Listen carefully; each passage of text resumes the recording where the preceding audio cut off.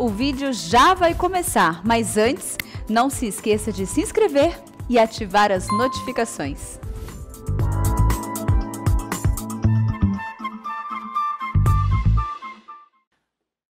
Cumprimento a todos com a graça e a paz de nosso Senhor Jesus Cristo. Amém? O tema nosso esse ano, vivemos para glorificar somente a, a Deus. Se vivemos para o Senhor, se morremos, o Senhor morremos. Somos do Senhor. E eu hoje tenho que dar uma carga de entusiasmo para vocês, né? Primeiro domingo do mês, do ano. E tem uns prognosticadores aí de, de plantão que eles só estão falando de tragédia para 2020.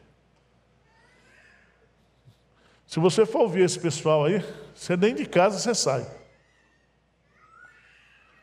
Já chegou em São Paulo, São Paulo sempre em primeiro lugar, a segunda cepa do coronavírus, diretamente de Londres. Aí nós vamos ter que tomar outra vacina, como é que vai ser?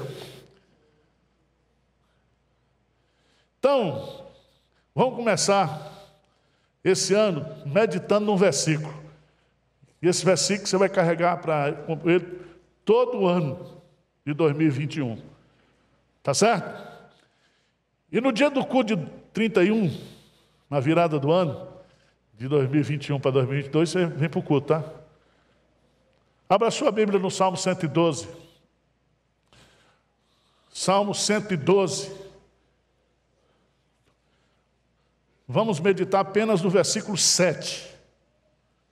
Eu quero falar o seguinte: como o crente reage ou recebe notícia ruim. Como um crente, um homem que teme ao Senhor, deve enfrentar notícia ruim.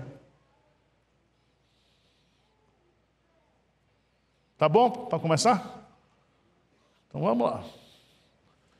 Vamos ler juntos, bem forte, bem firmes aí. O que que diz? Salmo 112, versículo 7. O que que diz?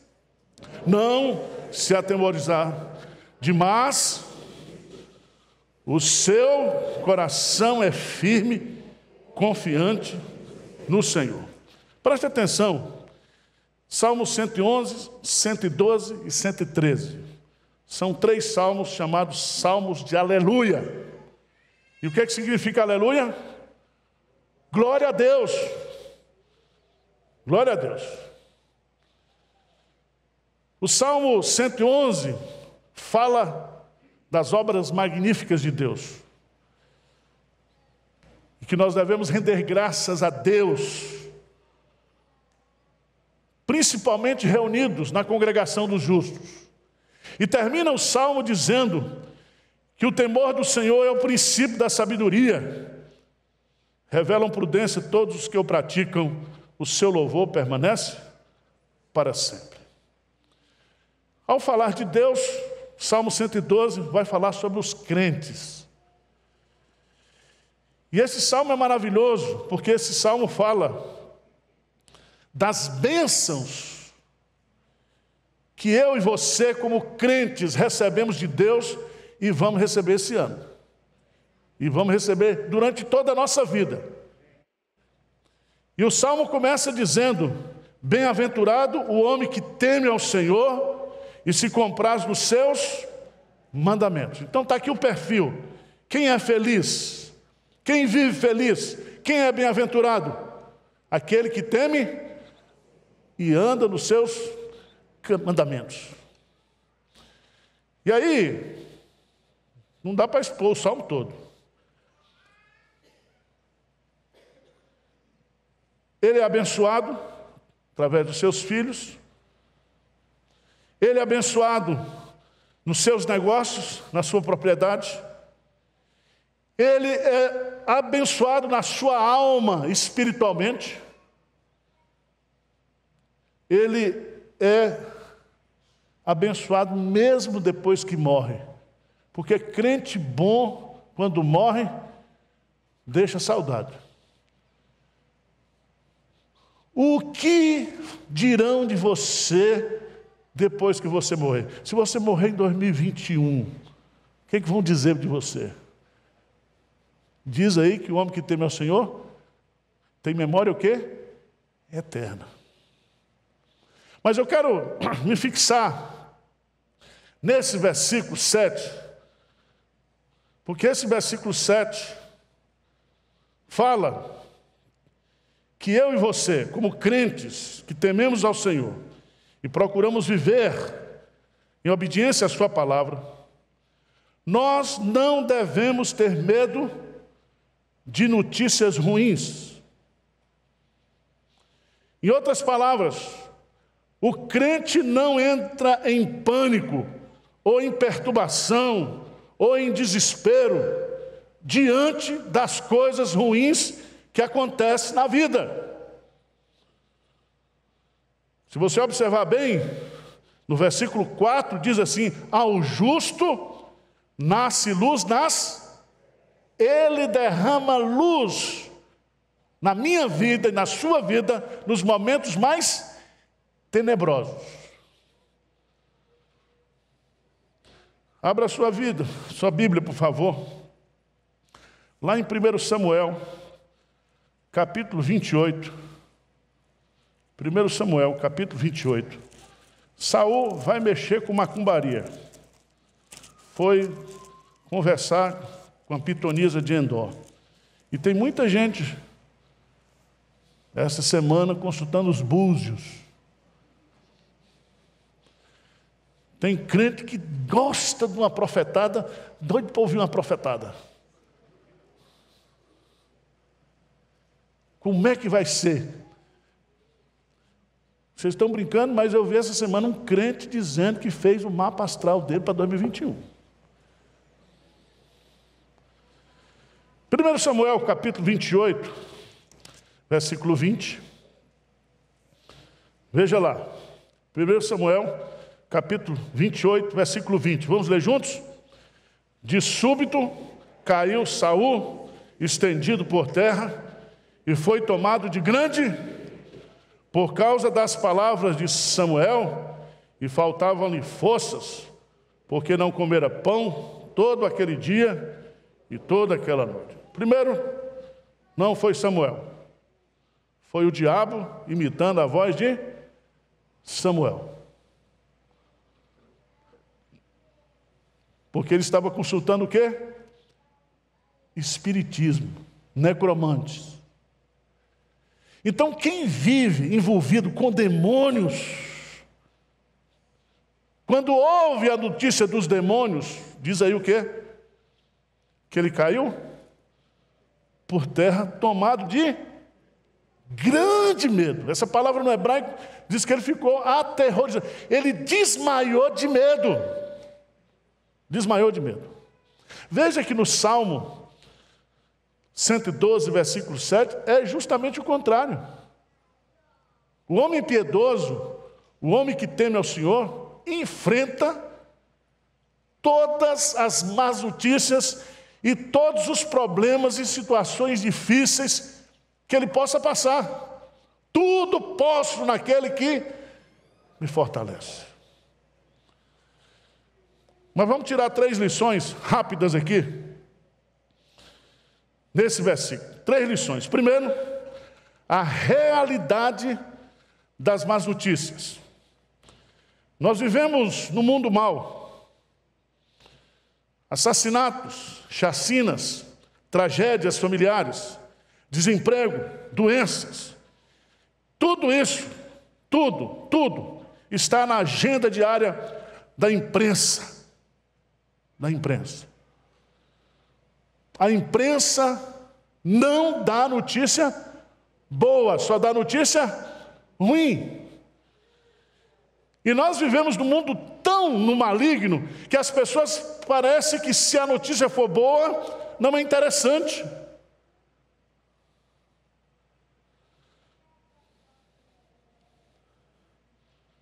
Notícia ruim no mundo hoje tornou-se uma estratégia política e ideológica. Os nossos órgãos de imprensa, As nossas redes sociais, elas trabalham trazendo más notícias, falsas notícias.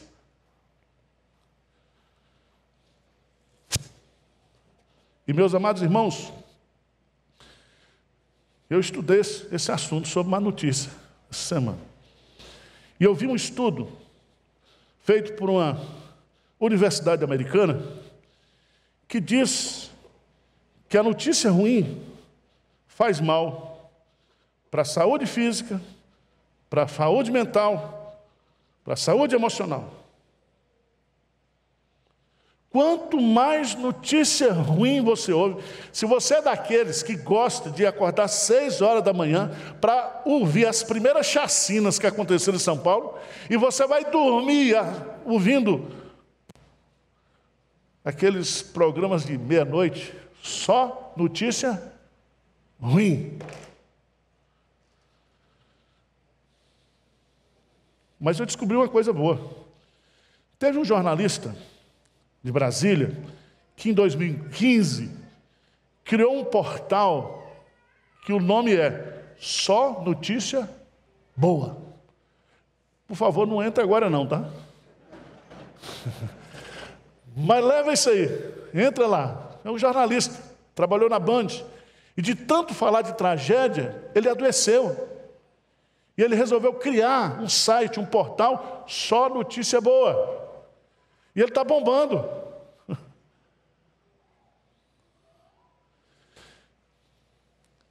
É interessante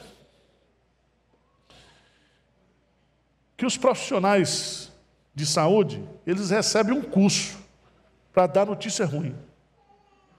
Sabia disso? Os médicos, principalmente os oncologistas, profissionais da saúde, quando eles estão diante de um paciente e eles fazem um diagnóstico grave, eles são treinados para dar notícia ruim. Como aquele empreiteiro da construção civil que foi avisar para a esposa de um pedreiro que trabalhava para ele que o marido tinha morrido. E ele chega lá e diz: Olha, eu vim aqui dizer para você que a roupa do seu marido caiu no sexto andar. E ela diz: E aí? Não, ele estava dentro da roupa. Você já notou que nós temos o hábito de contar uma notícia pior para dizer que aquela notícia ruim é menos ruim do que a pior. Já viram isso?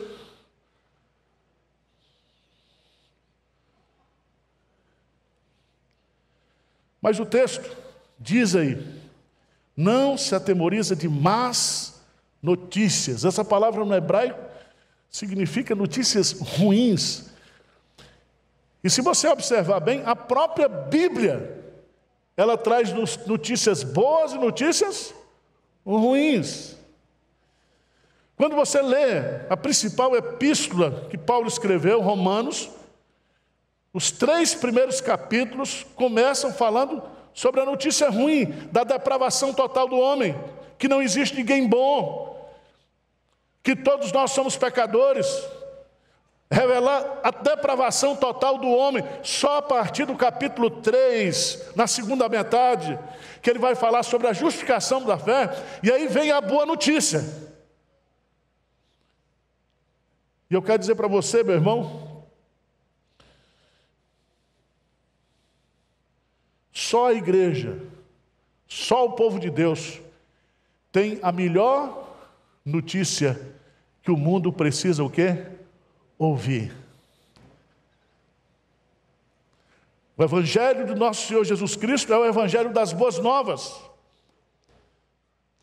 Salomão já diz claramente lá em Eclesiastes que não há nada de novo sobre a face da A única coisa nova, a única boa nova é o Evangelho, é Jesus Cristo.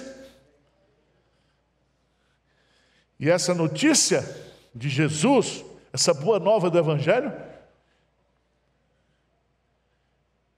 ela suplanta toda e qualquer má notícia que você vai ouvir o quê? Nesse ano.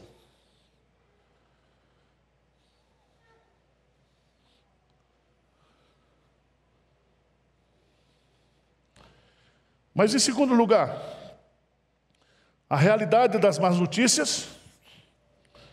Segundo, o privilégio do crente. Qual é o privilégio do crente? Versículo 7: Não se atemoriza de más notícias. Esse não se atemoriza é uma expressão tão forte. Ele não se abala, ele não se desconstrói, ele não se derrete. A palavra hebraica é se derreter diante de más notícias. Abra sua Bíblia, por favor. Em Isaías, capítulo 13, versículo 8.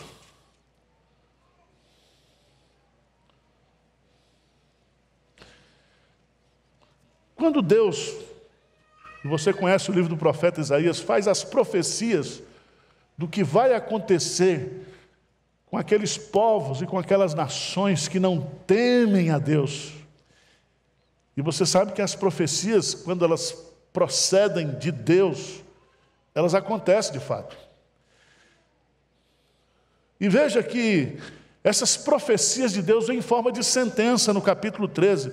Sentença que numa visão recebeu Isaías, filho de Amós, contra a Babilônia.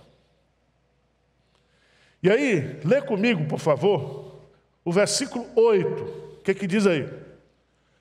Assombrar-se-ão e apoderar-se-ão deles dores e ais, e terão contorções como a mulher, olharão atônitos uns para outros, o seu rosto se tornará rosto flamejante. Irmãos, essa palavra assombração e ele usa a figura aqui da mulher que está sentindo o quê? Dores de parto. É um desespero. Isso acontece com o ímpio. Isso acontece com aquele que não teme a Deus, que não confia no Senhor. Porque a palavra de Deus para o crente é consolo. A palavra de Deus para o crente é encorajamento, é alimento, restaura a alma, ilumina os olhos dá sabedoria aos simples. A palavra de Deus vem para nos curar, para nos sarar, mas essa palavra para um mundo que não tem Deus traz assombro, traz medo. Veja Isaías, capítulo 33, versículo 14.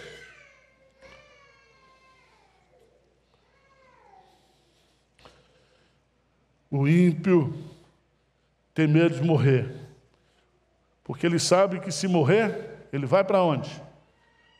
Para longe de Deus. E veja o que, é que Isaías coloca aí no capítulo 33, versículo 14. Vamos ler juntos? Os pecadores em Sião se assombram, o tremor se apodera dos ímpios, e eles perguntam: quem dentre nós habitará com o fogo devorador? Quem dentre nós habitará com chamas eternas? O ímpio se desespera com más notícias. O crente não. O crente não se atemoriza. Diz um amém aí, por favor. Toda notícia que você receber ruim esse ano, não fique com medo. Não fica com medo. Porque nós somos de Deus. E Ele cuida de nós. E eu vou colocar para você a terceira lição do versículo. Nós temos a realidade das más notícias. Nós temos o privilégio do crente que ele não se atemoriza das más notícias. Mas a terceira e grande verdade, as razões porque eu e você não devemos temer a má notícia. Amém? E eu quero gastar um tempinho aqui rapidamente. Qual é a base que eu e você, como crente, não devemos ter medo de más notícias? Porque diz aí: o seu coração está firme ou é firme? É, não é está, é firme. E o que mais? Confiante no Senhor. Aqui nós temos um princípio doutrinário. Se você quiser anotar aí. Qual é a doutrina que o salmista está ensinando aqui? Um cristão, em tempos de perigo iminente, não teme, porque confia no, no Senhor.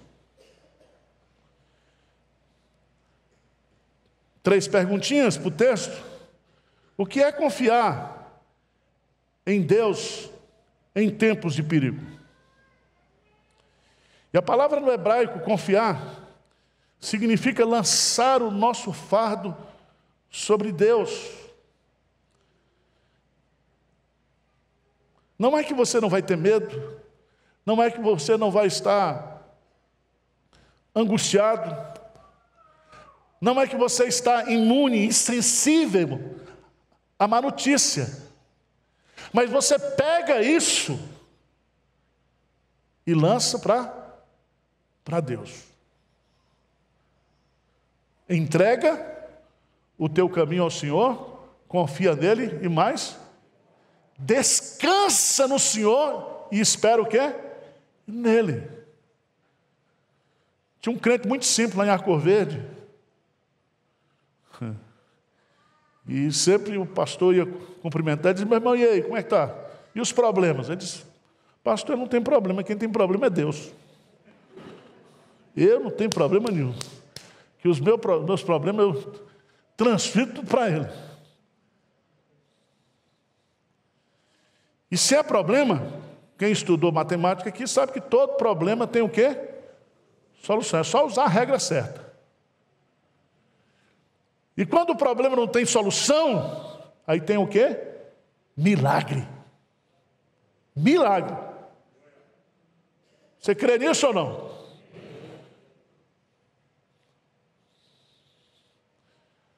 É muito bonito a gente estudar. Salmo 55. Salmo 55, versículo 22. Lê lá para mim, por favor. O que, que diz? Ah, pastor, estou com medo da economia, de ser demitido esse ano. Ah, pastor, eu estou demitido, como é que eu vou começar a minha vida? O Bradesco já ligou lá em casa, querendo fazer um empréstimo. Você que é aposentado, como eu, não entra nesse negócio de empréstimo consignado, que é fria. Salmo 55, 22, o que é que diz aí? Vamos ler juntos, bem forte. Confia os teus cuidados ao Senhor, e Ele te susterá. Jamais permitirá que o justo seja o quê? Abalado.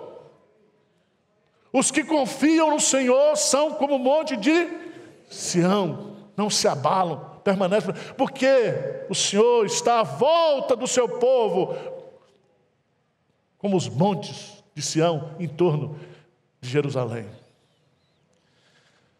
Agora, lá no Salmo, versículo 9, Salmo 9, versículo 10, vai nos ensinar que essa confiança em Deus não é um pensamento positivo, não é nada disso, não é um salto no escuro,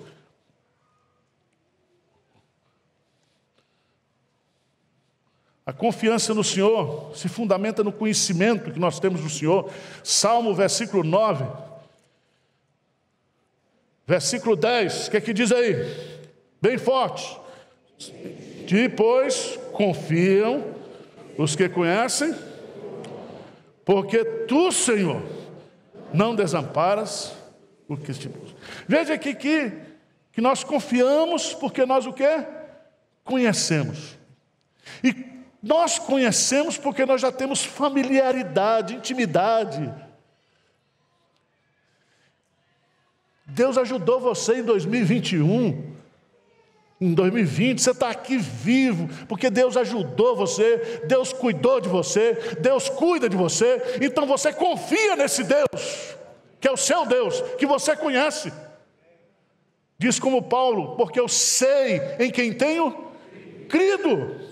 Eu sei. E aqueles que confiam no Senhor jamais serão o quê? Envergonhados. Envergonhados. Pastor, o que, que eu vou fazer nesse ano? Se reinvente, meu irmão. Deus derrama luz nas nossas trevas. Ah, pastor, perdi o emprego, arruma outra profissão, meu irmão. Arruma outra profissão. Deus está trabalhando a sua vida. O salmista Davi diz: Fui moço e agora já sou velho. Jamais vi um justo desamparado. E a sua descendência mendigar o pão. Deus está cuidando de você. Deus cuida de nós. Mas eu queria chamar sua atenção, porque a base ou motivo para nós não termos medo é confiar em Deus em tempos de perigo. E a pergunta que eu faço, e eu fiz para o texto, é por que, que nós devemos confiar em Deus? Por quê, irmãos? E a resposta que eu entendo, que eu acho, no texto, está lá no Salmo 62. Salmo 62.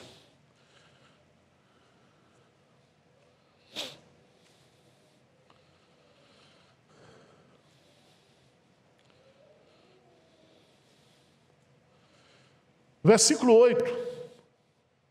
Lê comigo bem forte, bem bonito, tomando posse, como diz o pentecostal. Vamos lá. 62, 8. O que, é que ele diz aí? Confiai nele, ó povo, em todo o tempo. Derramai perante ele. Deus é o nosso refúgio. Por que, que eu e você devemos confiar a Deus em todo o tempo? Sabe por quê? Porque Ele manda que eu confie nele. Ele exige que eu e você, como crentes, confiemos nele. Quando eu não confio em Deus, eu estou desobedecendo a Deus. E é tão lindo isso, meus amados irmãos.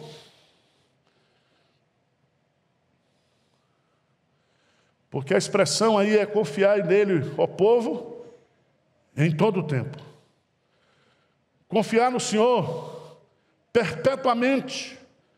Veja lá Isaías 26, versículo 4.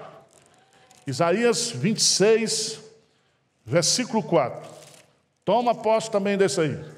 Isaías 26, versículo 4. Se nós devemos confiar em Deus em todo o tempo, Ele quer que eu e você, nós confiemos nele o quê? Perpetuamente. O que é que diz aí? Confiai no Senhor perpetuamente, porque o Senhor Deus é uma rocha eterna.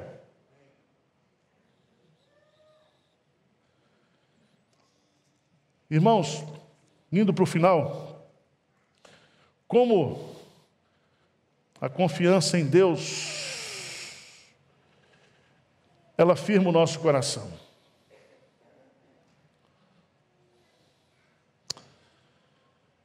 A confiança em Deus, ela produz, nos leva a ter um excelente coração. O nosso coração fica firme.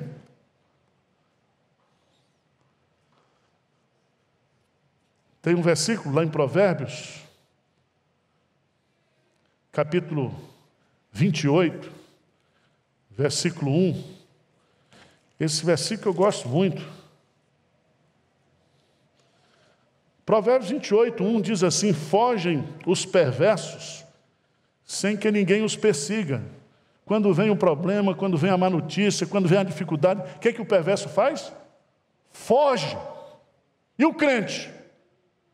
Mas o justo é intrépido como leão. Sabe por quê? Porque nós somos filhos do leão de Judá. Nós somos súditos, nós somos ovelha, nós somos cordeiro.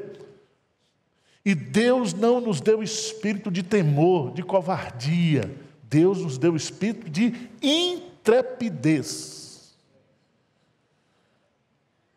Ser forte e corajoso. Não temas, nem te espantes. A fé e a confiança liberta o coração das comoções que causam tremores, estremecimentos. A fé fixa o nosso coração em Deus. Diz aí no Salmo 112, no versículo 8, diz: O seu coração bem firmado. Bem firmado significa que o nosso coração descansa em Deus. É como se Deus fosse estacas e nós então nos firmássemos nele, nos fiscássemos nele. É ele que nos torna firmes. A incredulidade gera medo. A fé produz coragem. O justo é intrépido como o leão. O justo não tem medo de absolutamente nada. Eu queria que você lesse comigo, para a gente encerrar. Vamos ficar de pé. Daniel, capítulo 3, versículo 18.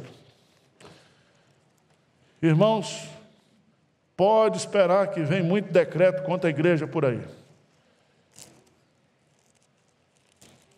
Sabe qual é a minha preocupação? Eu não estou nem aí. Daniel capítulo 3.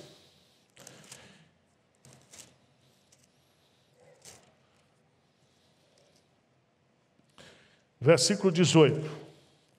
Você conhece a história?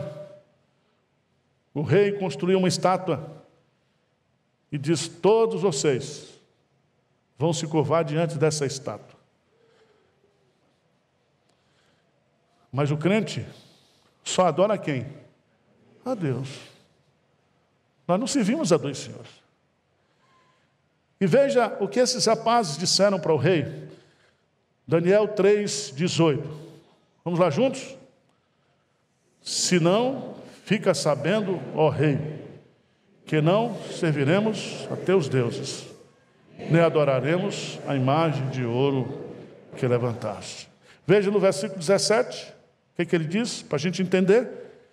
Se o nosso Deus a quem servimos quer livrar-nos, ele nos livrará da fornalha de fogo ardente e das tuas mãos, ó rei. Se não, fica sabendo que nós não serviremos aos teus deuses. Coração firme, porque confia o quê? No Senhor. Amém?